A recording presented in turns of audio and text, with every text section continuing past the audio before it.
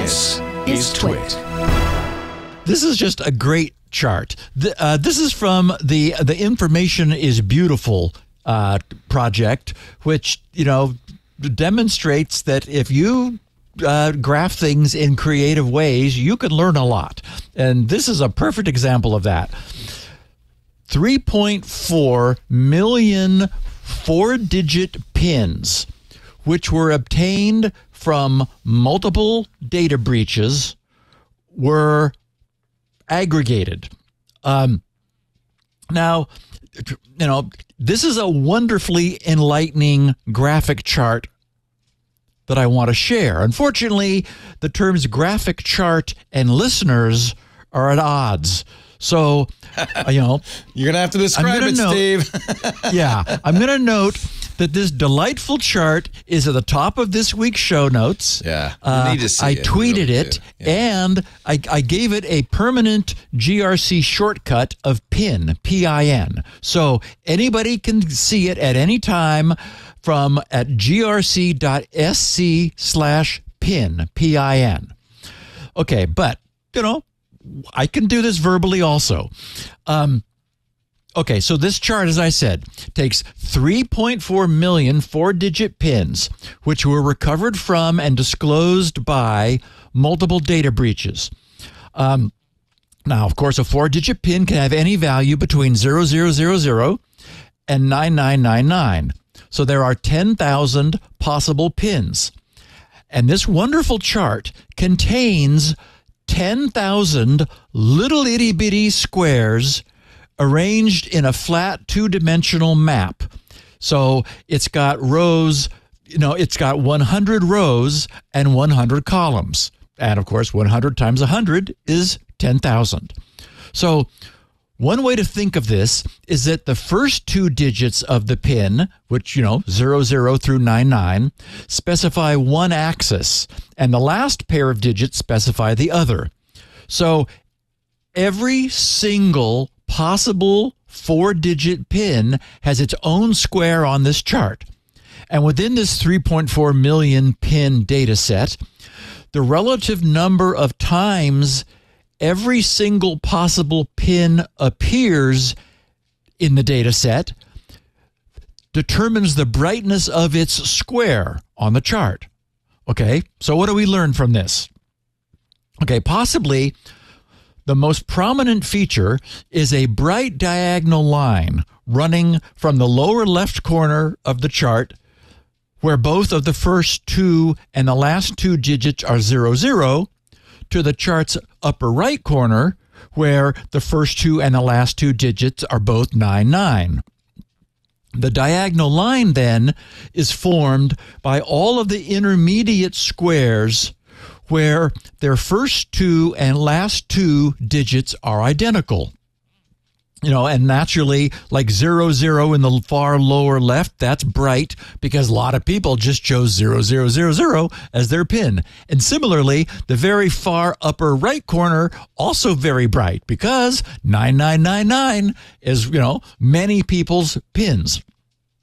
So there is, you know, some variation in the brightness along the diagonal, which is interesting, you know, and of course, human nature being what it is, the pin 6969 appears to be overrepresented relative to its neighbors. No surprise.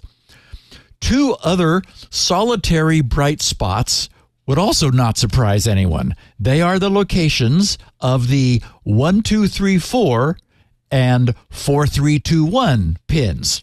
Not very creative and thus bright on the map. Another really interesting prominent line is the 20th line from the up from the bottom.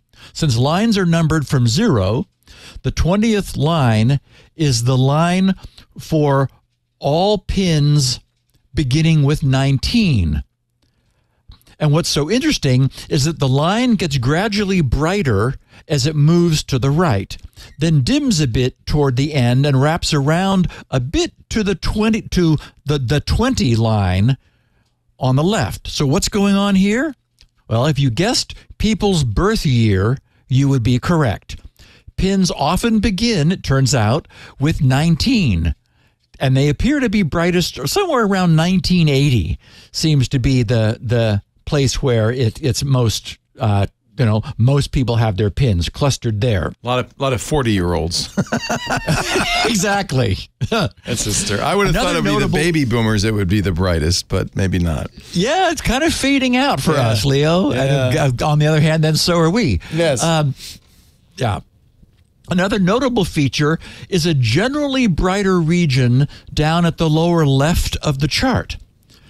This would be where both the first two and the last two digits form low numbers. Okay? Why? Because people used their month and day of birth within the month, running from 1 to 12, of course, for the month, and then day of month 1 through 31 there's and with and what's interesting there's a brighter horizontal stopping at 12 than the vertical stopping at 12 both which however are clear. This indicates that most people chose the ordering with the month first and the and the day of month second as their pin. Now stepping way back from it and looking at the overall illumination, there's a there's a top to bottom brightness variation, um, with it being brighter at the top and and and dimmer toward the bottom, suggesting that most pins have low starting numbers. But there's less left to right variation.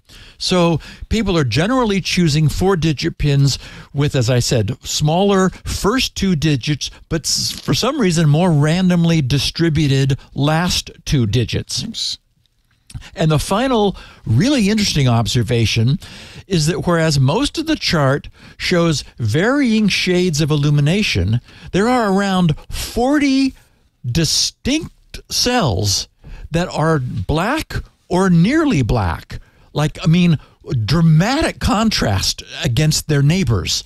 In other words, out of all 10,000 possible four digit pins, there are around 40 of those that are significantly underrepresented. Isn't that weird?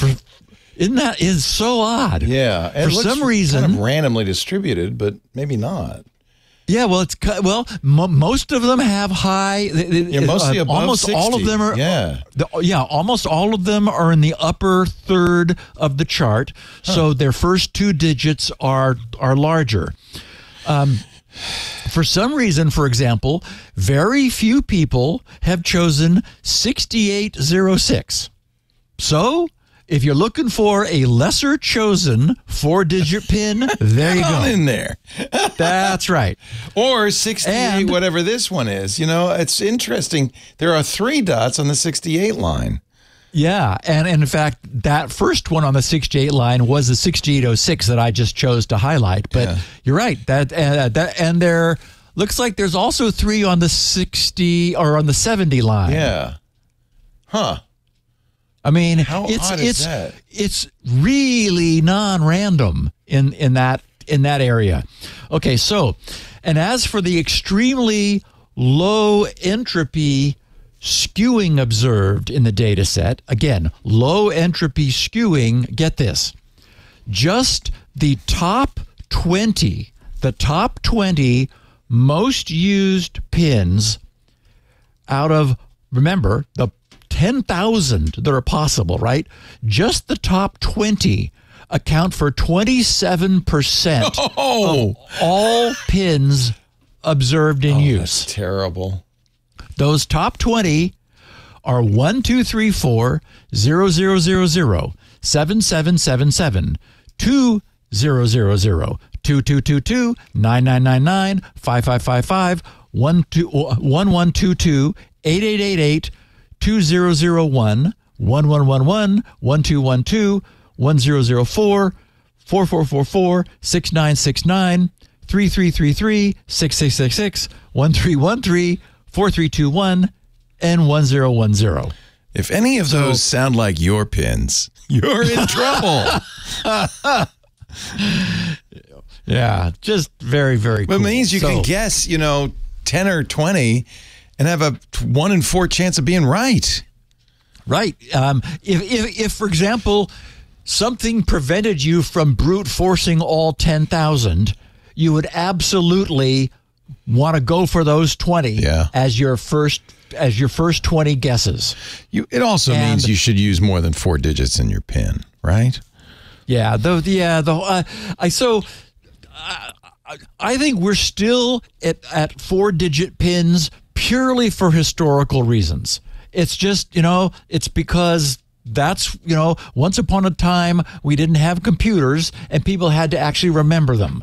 And I'm sure a lot of people used, you know, their month and day of birth or the last four digits of their social security number or, you know, digits from their license plate or, you know, something. The, the point being four digits that was all they could actually remember. We didn't have technology to say, oh, yeah, no, here, here's a string of 20 digits, you know, re- repeat after me. Pick something, you know, what I always do is I pick the last four digits of a phone number, not my current phone number, but maybe my childhood phone number or phone number I particularly recommend, rec- remember, because those are mostly pretty random. They certainly don't have anything to do with my birth date. Uh, I don't know. It's, or just pick something random. You can remember four digits, or better yet, use an alphanumeric password, not a PIN. Yeah. Well, and of course, uh, back once upon a time. Oh no, I, I was going to say once upon a time we were keying them into our touch tone phones in order to authenticate Oh, yeah, ourselves. right. But even then, you know, unless you used Q, I think was it was Q missing. I think Q was missing. Q There was, missing. That's right. there were a couple things that were not you know there. where on- these on- are on- mostly still used is on ATM machines. I don't know of any ATM machine that uses more than four digits, Yeah. right? So- Again, because there's some back end, Because there's a some key- old creaky keypad. back end Yeah. machine that could only take four digits. Anyway, this was a huge win for our audience who got a big kick out of it. So again, if you want to see what we were talking about, grc.sc slash pin, and that will bounce you over to my site. I grabbed the, it, I actually could have just pointed to it. Uh, the original source was over on Reddit, and then I got tweeted to me, but I was afraid that that might not last, you know, that could disappear. So I grabbed it and stuck it on GRC server just because it's just a, such a cool infographic. Hey, it's Leo Laporte. I hope you've enjoyed this little snippet from Security Now. If you want the whole show, you can get it at our website, twit.tv slash SN. Of course, you can subscribe to Security Now on your favorite podcast or just click one of the links below.